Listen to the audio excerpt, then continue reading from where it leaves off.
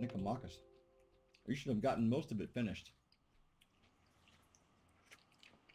Critical reader, this is your name up here. Yes, I want you to turn this in. Yes, I'm giving you credit for it. No, I'm not grading it for complete accuracy. This is not meant to be a burden on you. No, they're not peanut M&Ms. I detest peanut M&Ms. You are the critical reader. If you've ever done some kind of DBQ assignment, this is my version of that. Just don't like them, Catherine. Although my mom loved them. Like so, like whenever, whenever my mom and I would have M and M's, it would like she'd have her package and I'd have my package. Each passage below is followed by a number of questions. Circle the best answer or answer directly based on what is stated or implied in the passage. For free response answers, you will be graded based on the quality and content of your response. Nicomachus of Gerasa was a mathematician who flourished at the end of the first century. The passages that follow are his opening comments about the mathematical arts at the beginning of his work, Introduction to Arithmetic lest you think I am making this up. I'm just going to show you. I pulled the book off my shelf. By the way, this is book 11 in the Great Book Series when it was published in, what's the publication of this book? They changed the number of the order every so often. This was published in 1957, 1952. The night was it the print? Is that the printed date?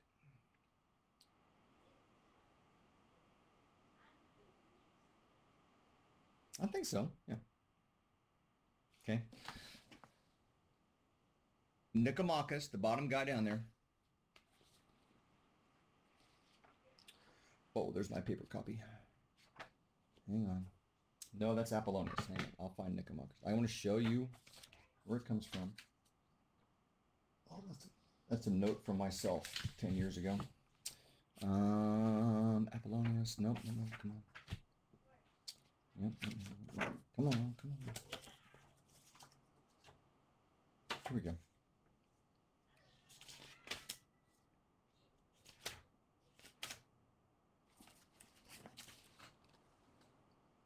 Introduction to Arithmetic.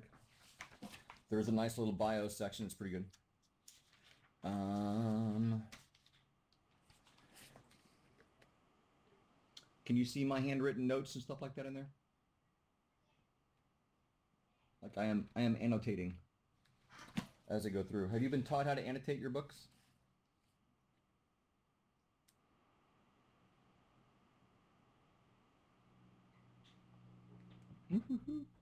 There's the good stuff right there.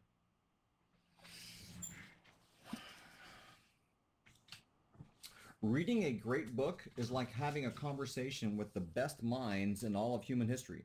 Now, granted, it's a uh, it's kind of a one-way conversation because the authors are probably dead. But um, you should talk back to them. You should converse with them. And they only give us their best ideas. All right, so speaking of Pythagoras on the definition of wisdom, Nicomachus says, he, speaking of Pythagoras, is more worthy of credence than those who have given other definitions, since he makes clear the sense of the term and the thing defined. This wisdom he defined as the knowledge or science of truth in real things. What? Conceiving science to be a steadfast and apprehension of the underlying substance, and real things, real things to be those which continue uniformly and the same in the universe and never depart even briefly from their existence. These real things, real things would be the things, here's the key word, immaterial, by sharing in the substance of which everything else that exists under the same name and is so called said to be this particular thing and exists.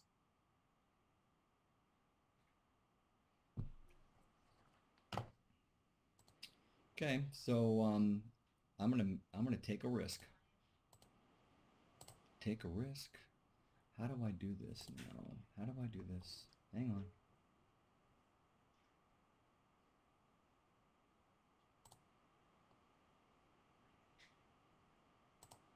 I am turning everyone's microphone on.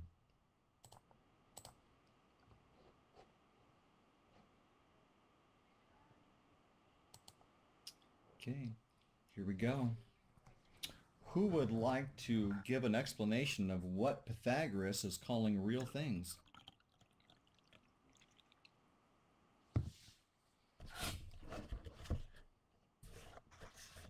Catherine raised a hand. Good. Go ahead, Catherine. Can you hear me? Yes, I can. How are you? Oh no. It's echoing again. Oh, well, we'll do At our best. you can hear me. Um, oh, I'm doing well. Um, yeah. Anyway, uh, the the definition of real things is that um, he kind of says it up there. It's the um, it's those things which continue uniformly and the same in the universe and never depart even brief, briefly from their existence. And Like what? they're the immaterial things. So basically, what was that? Like what? Name me something that doesn't ever change. Oh, like mathematics and things that are just kind of part of the world, like the What- true what about- things. What about my coffee cup? Is my coffee cup real according to Pythagoras? no, sadly, it's not. I think you're correct. You, like there, somebody's having a sword fight in the background where you're at. Oh, it's Yeah, probably yeah, my little siblings. They're like, yeah. You have brothers it and is my little sisters that are They're, fighting with pots and pans or something. well, my mom is in the kitchen making something, and then my siblings are playing with train tracks behind me. So, um, yeah. Thanks for joining us in in the middle of the chaos. well, thank you. Good. All right, go ahead and press mute. Anybody else want to comment on that?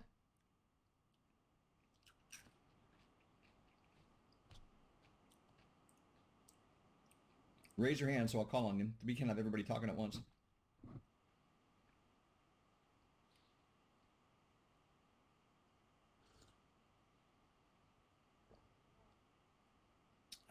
Yep. Which is funny because the uh, what Pythagoras's, if that's the plural, possessive, possessive, Pythagoras's idea of what is real is the opposite of what we have kind of in the modern world today.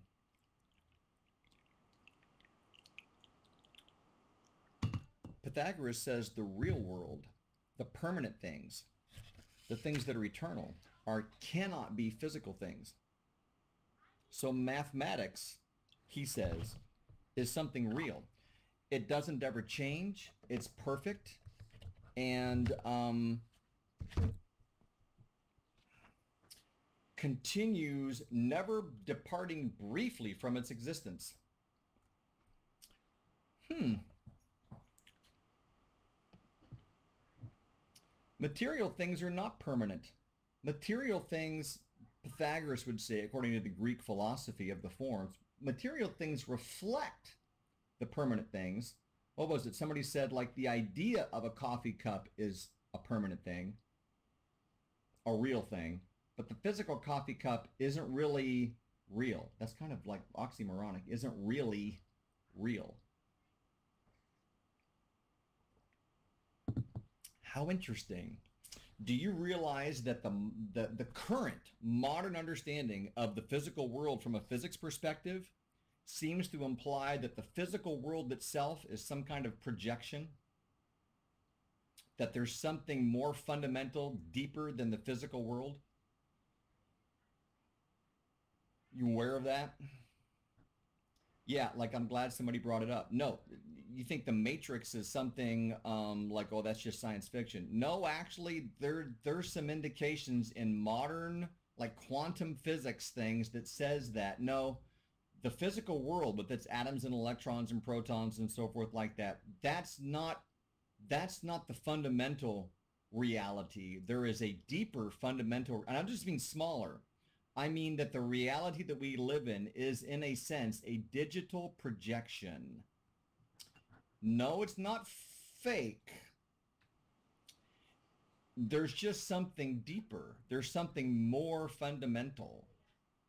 And so the idea of the matrix that we're in, like our, what we perceive around us isn't really ultimately real. There's something more deeper that we're that's beyond our dimensional ability to perceive. Yeah. So like I don't know. Like I think the matrix wasn't really written to make that point, but there's some profound physics implications in the matrix go back to what Pythag- Pythagoras' understanding of what is real, I think, is perhaps more along the along the right track than, you know, what we thought was real 50 years ago. What does that What does that mean in the light of a Christian philosophy?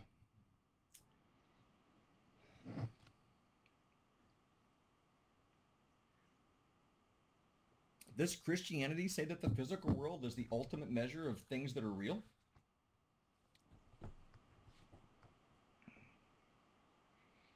What's the, what's the real you? Let's get down to the, the, the thing. What's the real you? Is the real you a physical thing? Your soul is the real you. When you die bodily, your body goes into the ground. Are you in the ground? See, this is this is like what? How did we get off the subject so fast? No, this is on topic. Yeah. What does the apostle Paul say about dying, believers that die? He says that absence from the body is to be present with the Lord. What do you mean absent from the body if the physical is all that there is of you? That's that's that's contradictory. How can you be absent from the body when the body is you? Maybe not. Isn't this great? This is a mathematics class. What's going on? Finally, we're getting to the important questions. What is mathematics? A pagan Greek philosopher, Pythagoras, says that ultimate reality is not the physical world. Oh my goodness. What in the world? Okay. Therefore, if we crave for the gold that is worthy and fitting for man, and by man he means human beings, he doesn't just mean men, the males, namely happiness of life. Didn't we talk about that at the beginning of the school year? Like, why are you here? And this is accomplished by philosophy alone and by nothing else. And philosophy, as I said, means for us desire for wisdom, and wisdom, the science of the truth in things, didn't we talk about like how do you become happy? We talked about wisdom and virtue. Oh my goodness. Um, and of things, some are properly so called, others namely share the name. It is reasonable in the most necessary some accidental qualities of things. Things then, both those properly so called and those that simply have the name, are some of them unified and continuous. Here we go. We're getting into some of the details now. There are some things who are unified and continuous, meaning that they are one individual thing.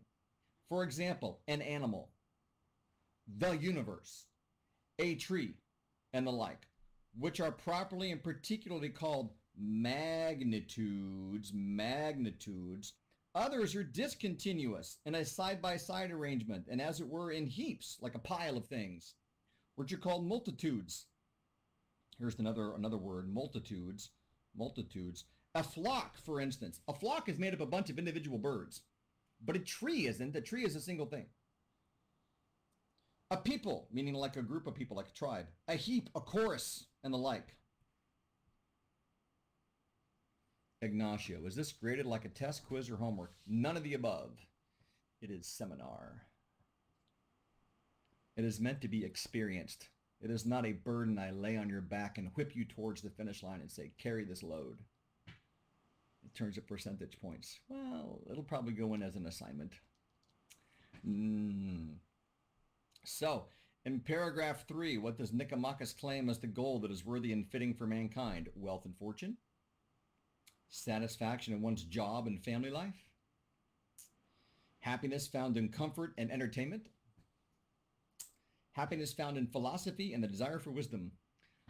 Okay, now, see, this is where people kind of go astray. I'm telling you in paragraph three What does Nicomachus claim? Students who are a little bit slackers will be like, oh, I, I think happiness is found in comfort and entertainment because that's what the culture tells you that you need in order to receive happiness. Am I right or am I right? People say, no, no, no, no, no. Happiness is found in wealth and fortune. Isn't that what social media tells you that you need to be happy? Right? Liars. Satisfaction in one's job. Yeah.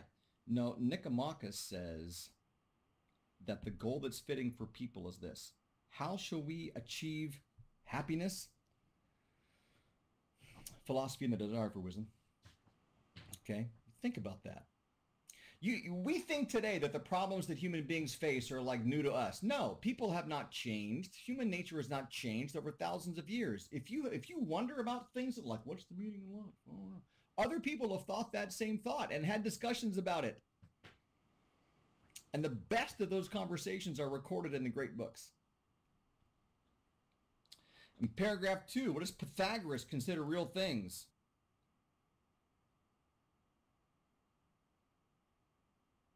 Answer? ABC. 10. Catherine thinks real things are 10. Well, 10 is somewhat a divine number.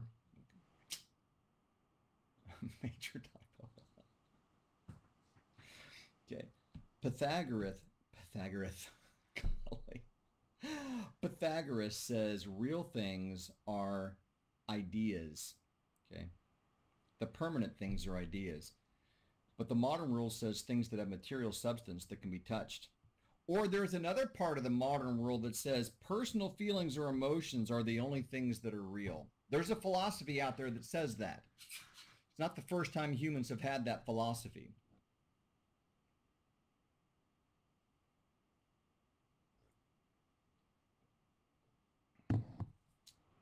Paragraph four, what's the difference between magnitudes and multitudes? All right, so this is important. What do you say? Magnitudes and multitudes.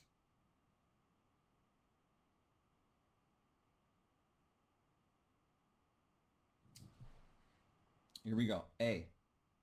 A magnitude is one thing, and numbers tell us how big the one thing is. A multitude is many things. And this tells us how many? Have we talked about this before? Yes. Okay. What two things do numbers tell us?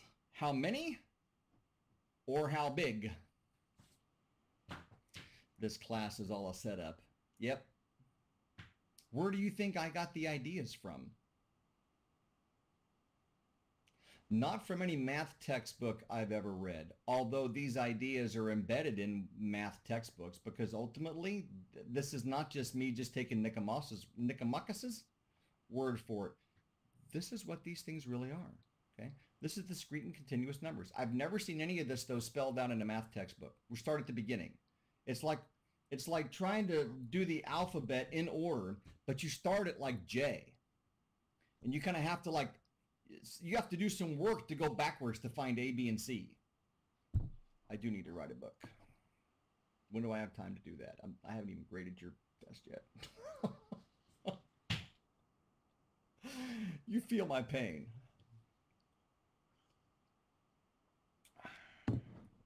A magnitude has many small parts and a multitude is a single whole. No, that's reversed. Okay. I might. I've done that in the past. There have, there have been points in the past I just said, look, this is this is small enough. I need to focus on the big things. I'm just like, if you turn it in, you get 100%. Not for a test, though. But hang on.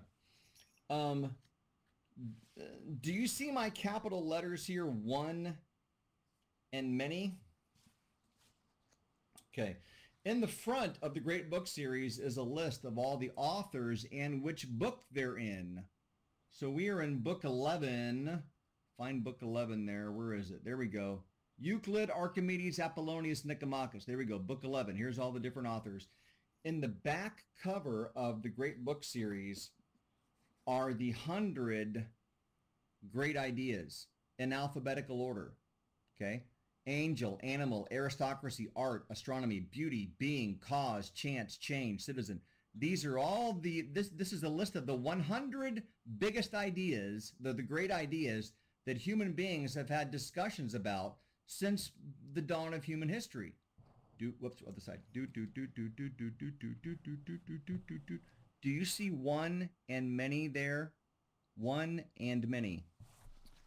The idea of the one and the many is not just a mathematical consideration. It shows up in several other areas as well. It is a philosophical topic. It is a tensioned topic. There's a tension between the one and the many, but there's also a synthesis as well. We see this in the American political philosophy. E pluribus unum is the what? Our our national motto? Out of many, one. America is a nation founded not on ethnicity, not on tribalism, not on geography even. It's out of ideas and values. What do you have to be to be an American? White, black, Hispanic, Asian. Um, do you have to be born in America, uh, like in this geographical area? No. What does it take for you to become an American? Agree to the ideas and values. That's not without conflict, right? But how do you how do you make one people out of many? It's the ideas and values that are important, not ethnicity and not geographical location people that come over here from Turkey within one generation can become an American, and they're just as American as everybody else, and we accept them as Americans. Think about that. If you did the reverse, if you went back over to Turkey, how long would it be for you to, be, to become Turkish? Probably never. Even after multiple generations, you'd still be seen maybe as an outsider because Turkey has a different idea about what it means to be Turkish. So like the one and the many, how do you balance the rights and privileges of the individual against the rights and privileges of the many? Oh, you see this in like how we set up our legislature? How do you balance states' rights versus federal rights? How do you balance big population groups versus small population groups? These, do you see how our founding fathers tried to set up a, a system whereby the tension is held in perfect balance between the one and the many? Do we just say majority rules? No, then you trample on the rights of the one. Do we just say that the majority doesn't matter? No, because at some level the many do matter. The major- why should the minority dictate to the majority? Oh my goodness. Might I propose to you that the that the greatest expression of the tension between the one and the many is held in the Christian philosophy of the Trinity?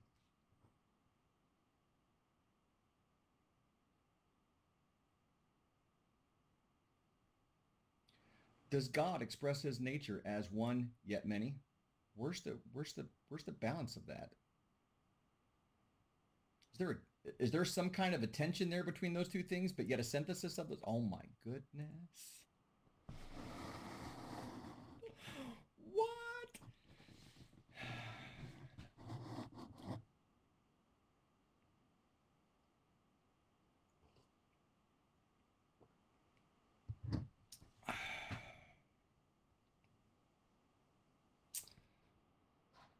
I'd like to move on, but I can't find my Apple Pencil. Where did it go? hmm. There it is. See, I win. Every time I misplace something, I'm playing hide and seek with myself. And I either win at finding or I win at hiding, so I'm always a winner. How is Pythagoras' comment of what is real different from the modern concept? Does anybody want to read their answer that they that they put down there? You can you can raise your hand. I'll call on you. You can have the microphone.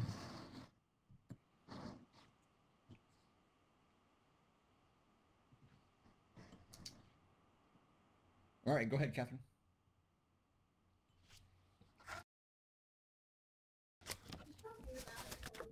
Okay. Um, this is what I wrote down, and I know that you were kind of hinting about something that the modern world is actually realizing that there's something else but the physical world, and I actually didn't take that into account. But I wrote that um, Pythagoras seems to base his definition, and surely the better definition, on the long term of life, and he paints real things as those that are not merely faint and passing things, but those that have existed and always will exist. Today, or at least I think my version of today, is that we only see real things as those we can materially sense, but that pass away from us um, and are of this world only. That's really good. There's no right or wrong answer for this. I'm just really, I'm this, it's, it's in the discussion. The value in this is in the discussion. Now, Catherine, I have to ask, is there any quieter room in the house that you can go to? Because I feel for you, like, I don't know how I would be able to concentrate with people having a pot stand fight behind me. I'll just, it's, It might it might just be louder over the microphone, um, because it's not actually Okay. that loud. So okay. I don't really know what's happening. But yeah, I can. I was just in my head during your answer, not because I disagree with what you were saying. I was just like, how in the world does she even think with all of that racket going on?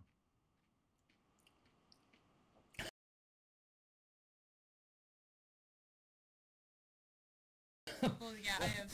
Simon said the revolution is still in progress. I hear. I, I thought for a moment he was talking about the American Revolution because we were talking about American political theory. No, I think he meant like whatever kind of war was going on in the background in your house, Catherine. You must have a really strong and disciplined mind to be able to process through all of that. No, no, no, no, don't apologize. Like, honestly, look, you're in the house with your family. The, the family is somewhat of a tension between the one and the many. But there should be a balance there uh, as well, right? Mm. So good. So en- enjoy your your younger brother and sister while they're there, even if they annoy you from time to time. It's it's okay. There's a goodness there. So, anybody else want to answer? Is Lucy finally showing up? Lucy.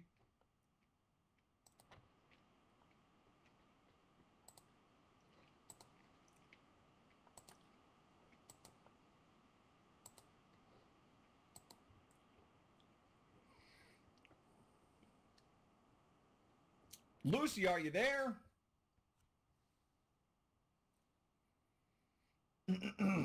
Glad you made it. Are you just joining us or did you get kicked off for some reason?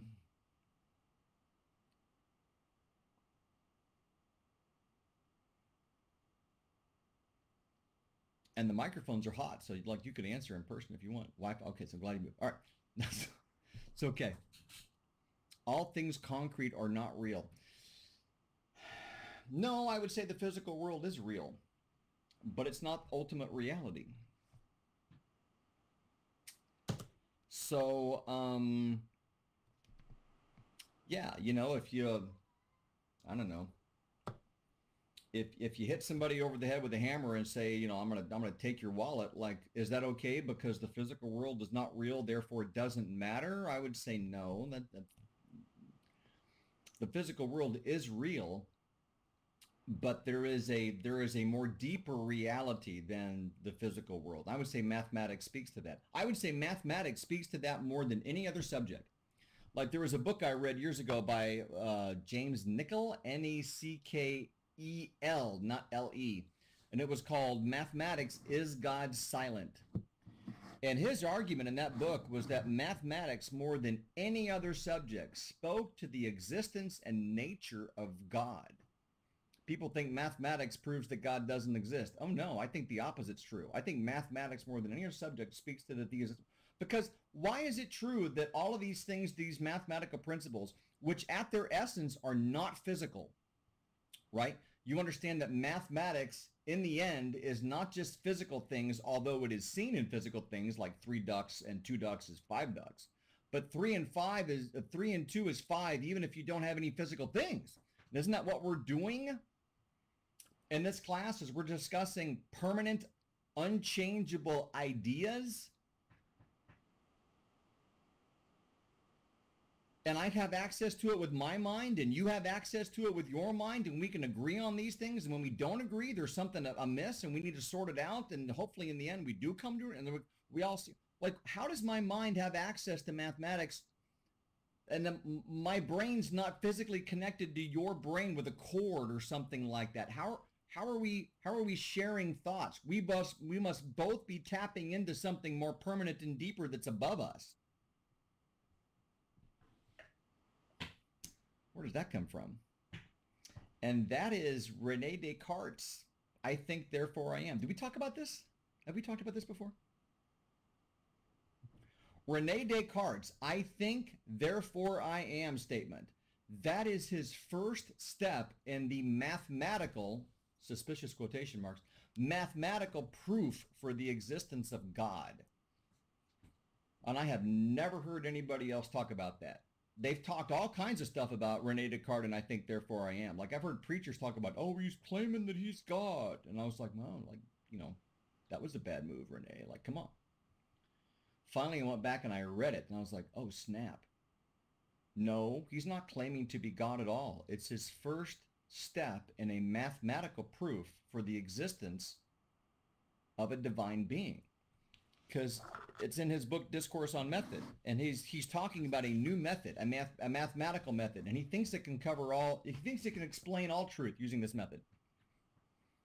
And so he knows somebody's going to ask, well, you know, give us an example, give us a demonstration, Rene, of um, how your new method can answer questions that up until now have not been answered very well. And what do you think Rene is going to answer?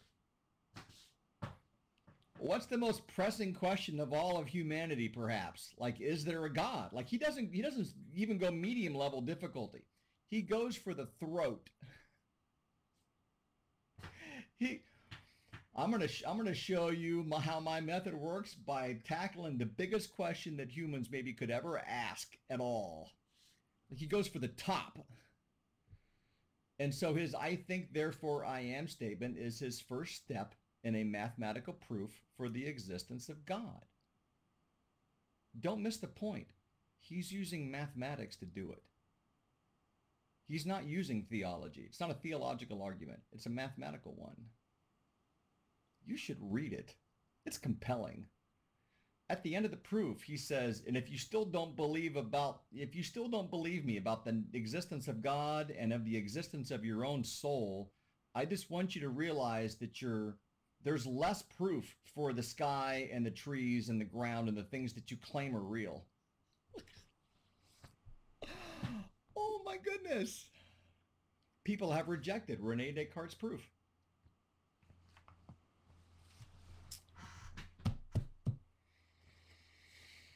Hmm. Can you repeat that my mom called me? That my mom called me. There you go. Oh no, watch the video. We got to move on. How much time we got left? Like this is to take two or three class periods. Back page. Second page, second page, second page. All right, mm, this part up here is nice. I'll let you dig into that. I want to dig into this right here.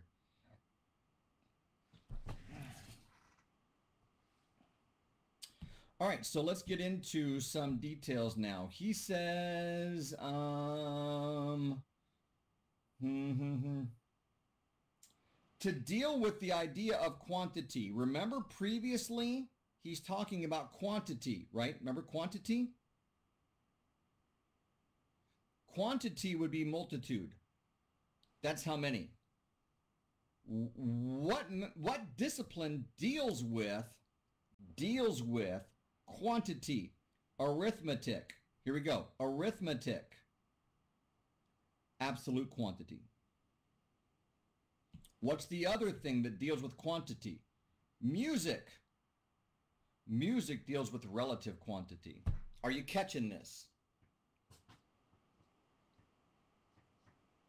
He says there's two things that you can study that teaches you about quantities, which answers the question how many? How many? Quantities. Arithmetic, music. What is arithmetic? Absolute quantity, which means the properties of numbers just themselves. Okay? Music.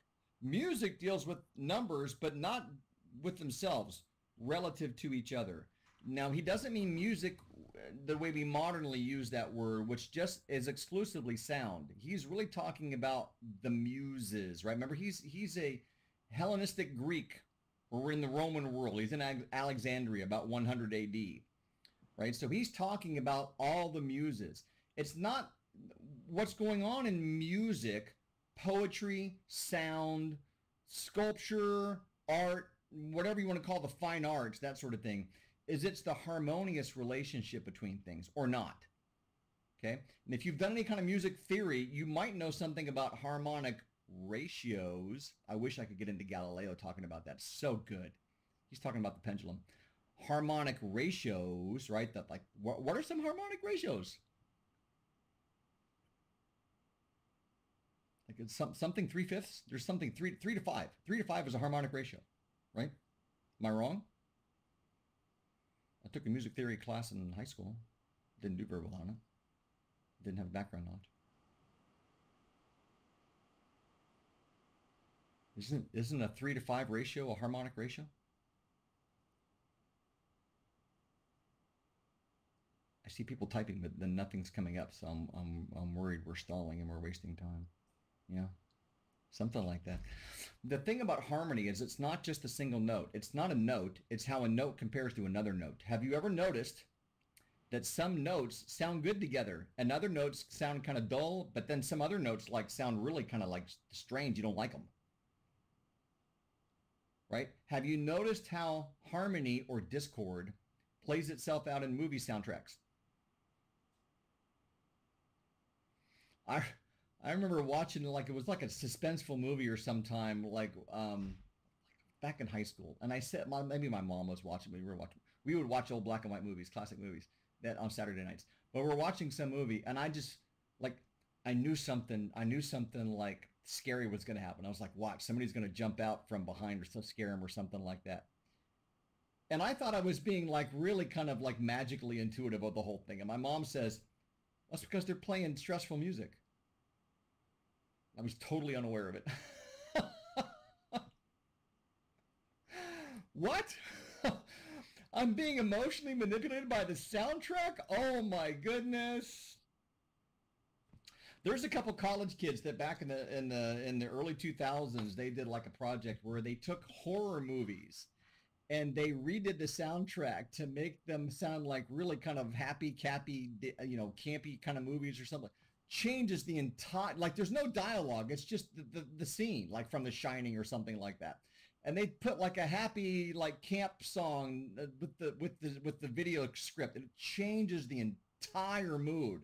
And you realize it ain't the video that you're watching that's doing that. It's the music right? Mm. all right. And once more inasmuch as much as part of size here we go with size. Size, size is the next thing Okay, that's how big is in a state of rest and stability. And another part is motion revolution. Two other sciences deal accurately with treat of size. Geometry. What does geometry tell us?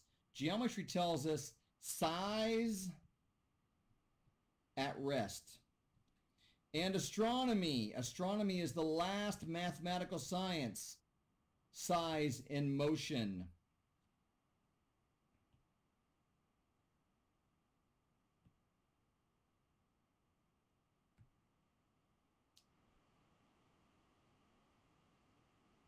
You ever seen this poster before?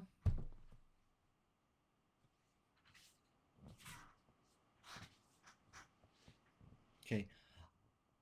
I made it.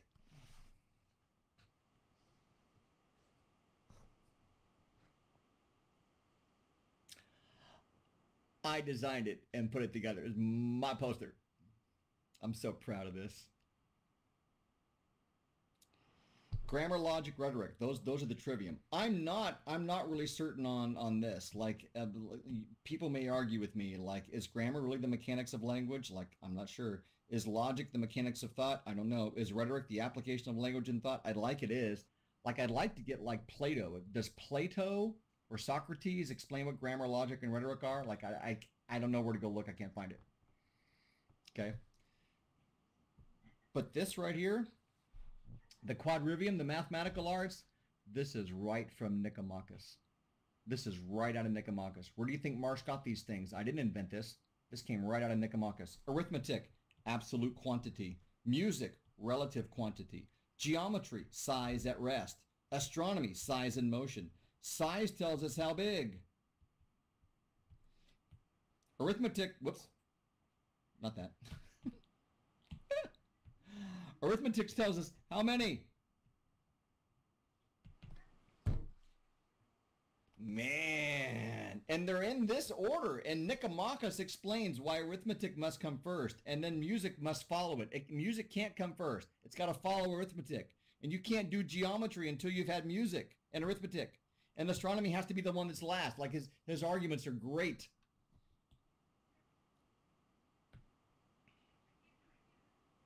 According to paragraph 5, what's the difficulty of studying math magnitudes and multitudes directly? Well, what's the answer? Yeah, A. He says the difficulty is is that magnitudes and multitudes are in the end infinite. If you start with how big one thing is, he says you can theoretically break it into an infinite number of pieces. And so it's difficult then to arrive at the end when you study it directly. You've got to study things that show you that. In other words, you've, you've got to study it in the small little extension parts, then that leads you back to the big idea. What about multitudes? Well, if you start with one and start adding things to it, two, three, four, or start doubling things, like I've got one, and then I got two, and then I got four, and then I got eight, and then I got 16, that sort of thing. He says eventually it goes to infinity. And so the concept of infinity is out of reach, both big stuff and small stuff.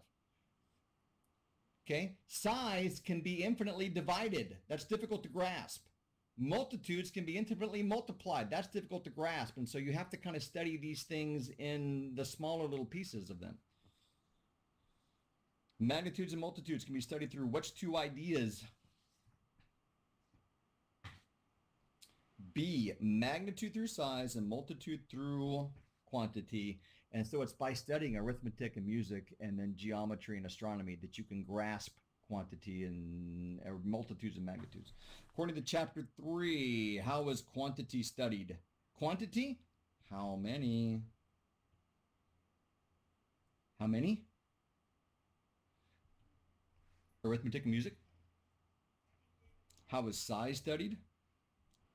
C. Geometry and astronomy? What's the difference between arithmetic and music, according to Nicomachus? A or B?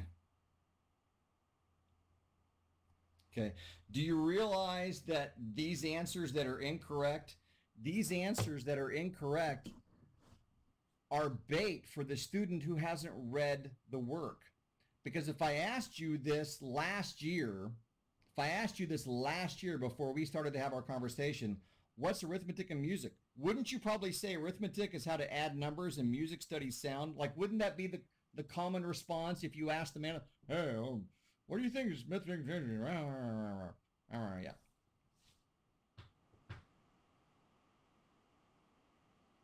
the above's more sophisticated. Hmm, pick the longer. Okay. All right. I don't know what I don't know what to respond. I don't have a, I don't have a response to that like ready to go. I have to think about that a little bit. you wonder why how many like, how many times has something come up and I've had like an immediate witty thoughtful response. It, I don't I don't think that quick. I've had 20 years to practice because you're not the first person to ask me that question. I think later on the way home, oh, that would have been a great response. I'm going to write that down for next year. Let's put that away. Save that for next year. I haven't thought about that one yet. hmm. Okay. What's the difference between geometry and astronomy? Geometry is size at rest. Okay. The study of the sizes of things, geometric figures that are not moving. They're just static. They're just sitting there, right?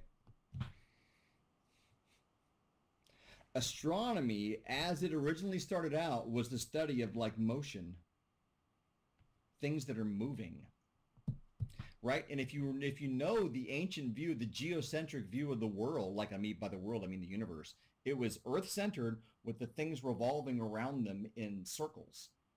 It was in, inter inter interlaced or interlocked spheres. And then you had things that would go around in a circle on a circle. So you had like epicycles and stuff like that. Yeah, music is not commonly thought of as a mathematical art. How might the concept of harmony be considered mathematical? All right, I'm curious what any else. Simon, Simon,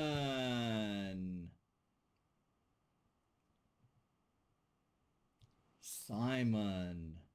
This, this. I think you should answer this question. Simon, aren't you the aren't you the organer?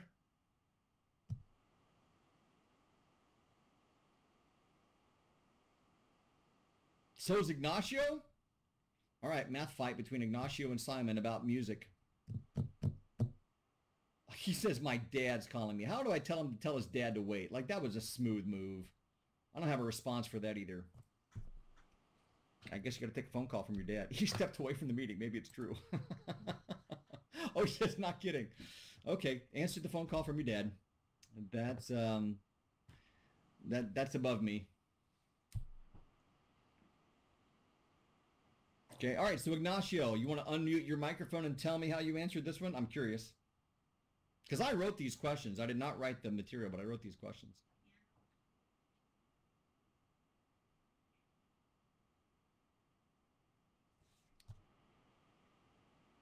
Ignacio's sick?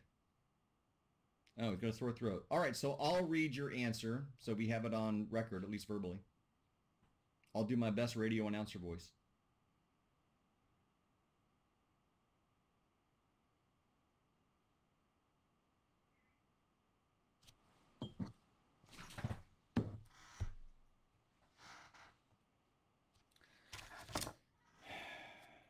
Have to laugh at myself. Like, did you see my face? My M&Ms are all gone, and I thought my coffee was more gone than it was. So I just assumed my coffee was almost gone, and I tipped my cup to look in it rather violently uh, with regard to how much fluid was actually in there, and I spilled coffee on my desk. It's what I get. It's totally what I get. I thought it was. I thought it was going to be less than that, but I was wrong. Okay, so Ignacio says, how might the concept of harmony be considered mathematical? Because harmony is good, true, and beautiful is is in a sense mathematical.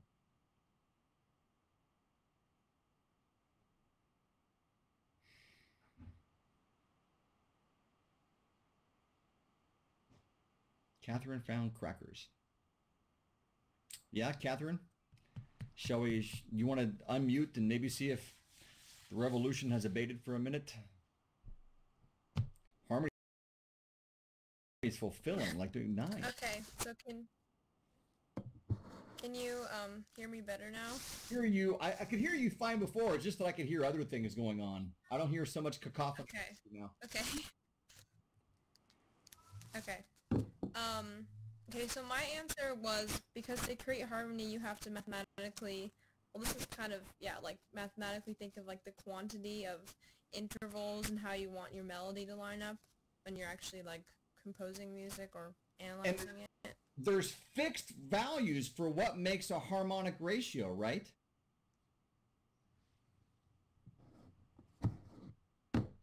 Ignacio says yes. You mean it's not just a matter of my own interpretation? Come on, don't tell me that that don't tell me that beauty is a mathematical thing. I'm going to get really offended at you because everybody knows that beauty is in the eye of the beholder, right? What's beautiful for you may not be beautiful for me and so forth. So I can play two notes on the piano that sound like really bad to you, but I like I, they're beautiful to me. Um, I would argue against that. I would say no. At some level, harmony and beauty is mathematical. So, in a some sense, you we can objectively say that that's not beautiful music because it doesn't follow harmonic ratios. Somebody somebody said one time, I forget who it was, but I picked up on it. So I don't I don't think this quote came from me, but I don't know who to attribute it to. Beauty isn't relative. It's just that some people prefer ugliness.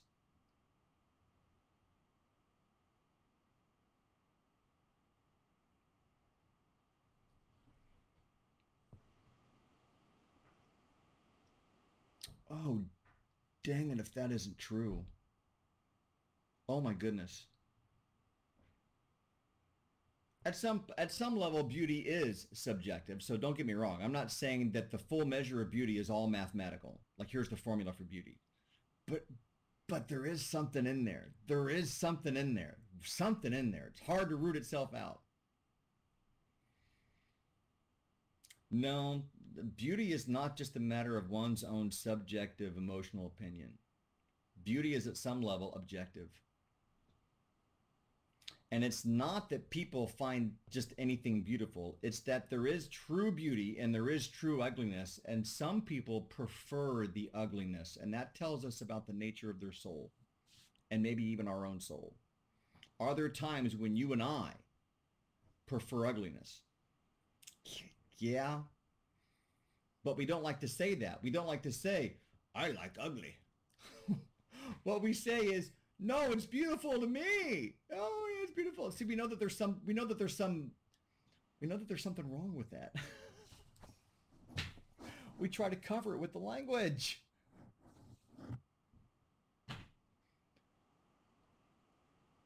Catherine's internet is failing her. Well, maybe you got to go back into the war zone. No.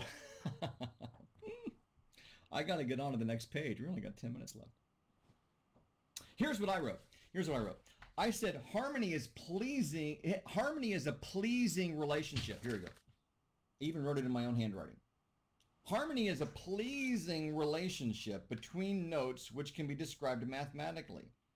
It's the relationship between different quantities. So it's the numerical relationship that leads to beauty or can lead to beauty. By the way, do you know about the Fibonacci sequence? This is a whole can of worms. Do you know about the Fibonacci sequence? Do you know about the golden ratio? Do you know about the golden rectangle? You know about those things? Oh, maybe we need to do another seminar and do it on on do it on Fibonacci and the golden ratio. Oh yes. Oh yes. The Fibonacci Fibonacci sequence one, one, two, three, five, eight, 13, 21. How do you get the next number? You get the next number by adding the two previous ones, right? So what's 13 and 21 added together? 34. If you start to take these numbers and do a ratio of them, 34 to 21, it starts to approximate 1.618 which is called the golden ratio, which is phi, which is how human beings have been programmed to find beautiful. Who's doing the programming? By the way, Fibonacci numbers are all over nature. It's almost like it's like a, the thumbprint of God. Okay? Monocots and dicots, flowers in the patterns of three petals or five petals. Am I right or am I right? Mmm. Did you know that there's there's something with the spirals on pineapples? Like if you look at a pineapple, it's got like little chunks. No, there's a spiral clockwise, and then there's another spiral counterclockwise. I think it's in, in a five and a thirteen pattern or something like that. If you take a banana and you cut it in, in like in, in, in half crossways, and you look at the at the cross section, it's set up in threes. You can stick your finger down the middle and break it off into three different parts. Three. Do you guys know that the way leaves arrange themselves on um, plants are set up in multiples of 3, 5, 8, 13, so forth. And it's a clockwise twisting or it's a counterclockwise twisting. Reed says wrong. Oh, what, have I, what did I say that was wrong? Oh, he says, just kidding. Wow. Reed prefers chaos to order. But don't tell me chaos is order. Oh no, that's different. Just trolling you right back. Uh, you, you know, the, you know the, um, the Vitruvian Man. Vitruvian Man is Da Vinci's thing where he took like, um, like the person and did like something. What did he do? There, there's something with the arms outstretched. There's the circle, and with the legs down, and some something like that. You know, they know that thing. It's all in. It's all in. It's all in Fibonacci proportions. The human body is proportional to this. Hmm.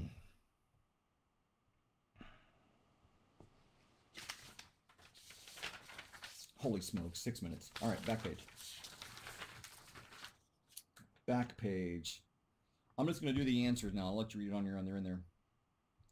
The Pythagorean philosopher Androcydes says the mathematical arts should be studied because why?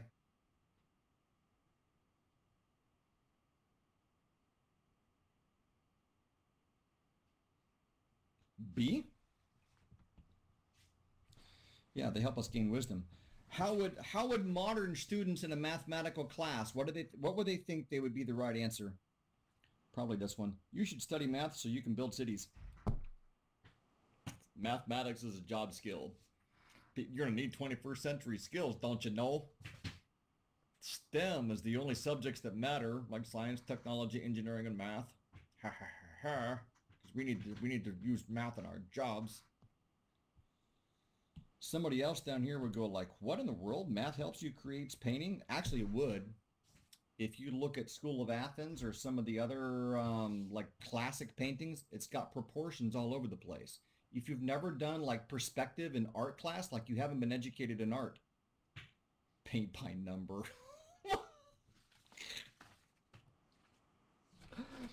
this is rare. I have to give you a witty comment, but boo on that idea. Paint by number. Well, I guess you got to start someplace. That was well played. Thank you, Lucy. That's I'm going to be driving home from school today, still laughing about that. All right. So Plato's metaphor of a ladder is used to argue that mathematical arts, like the high school, the typical high school student would say, "Oh yeah, help us build ladders and bridges to physically take us places we can't easily." No, carry your mind up from things that we can easily see and touch higher abstract truths and reason. Ptolemy said this. Ptolemy said that mathematics was the best science. Why is that? Because it's the divine world and then the physical world and then the mathematics is in the middle because the mathematics is seen in the physical world but it's also seen in the divine world and it, it it's the bridge that brings us from the physical to think of the divine. We think of higher things through mathematics. Ptolemy. We should, I, I should pull out the I should pull out the seminar thing on Ptolemy. Okay it's oh my goodness we first start to learn about numbers by counting things like maybe even your fingers one two three four five if you count the thumb as a finger and so forth. But then you start to think about numbers abstractly and the training in math trains your mind to think about abstract things things that are not concrete and physical and then that's the door into other abstract things like beauty and truth and justice and political harmony and things like that. None of those things are physical for the students that say that only physical things exist, I say you must not believe in love then. Right? You don't believe in love? And then a student said, what is love? And I said, baby, don't hurt me. Don't hurt me. No more.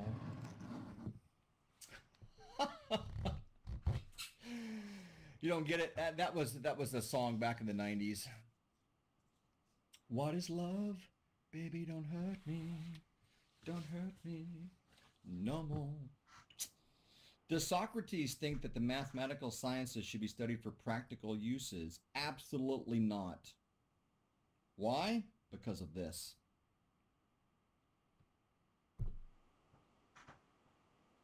Okay? How does it go? Somebody's talking with Socrates, the interlocutor, right? Says, hey, we should study mathematical sciences because of all of these things we can use it for. All of these, all of these things, all of these things. Socrates says, you amuse me. That is his way of saying, you make me laugh. Don't we have a modern statement that says something like that? Although we in the modern world we say, don't. Don't make me laugh. It's the idea of mockery. Socrates is mocking this person because they say that we should study mathematics because of the uses we have for these things. Socrates says, don't make me laugh. You seem to fear that these are useless. Useless? What do you mean useless? He just gave you a whole list of what he uses them for. He says that's not important at all. This is so good. Like I get goosebumps still even just reading this.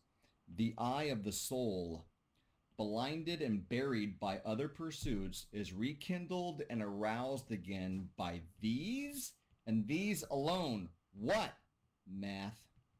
The mathematical arts.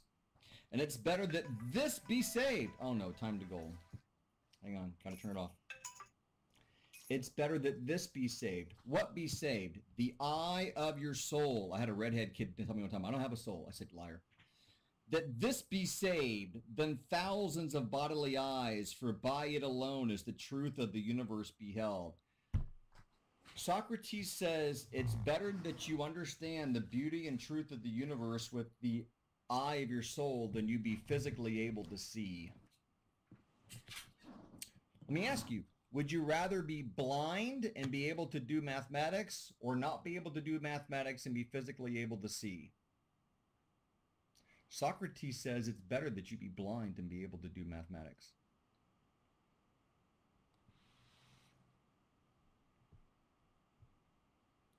Explain what Socrates meant by the phrase eye of the soul and why it claims it's more important than a physical eye. It goes back to what's real. If all you have is a physical eye, you don't you don't have access to ultimate reality. The mind, the mind or the eye of the soul is developed by mathematics. That's why everybody should take it. On the back, summarize. Include a description of the four mathematical arts, why Nicomachus believed they should be studied. All right.